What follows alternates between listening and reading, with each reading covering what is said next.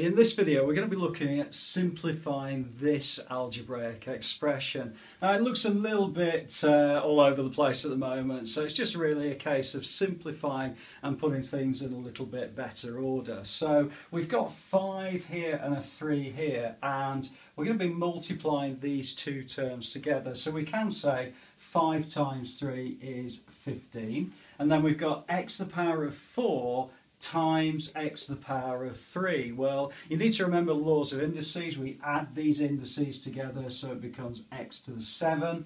And then finally we've got y to the 2 times y to the 7, so that's going to be y to the 9. And that's actually the answer to this particular question. All we're doing really is gathering up these like terms and multiplying them together.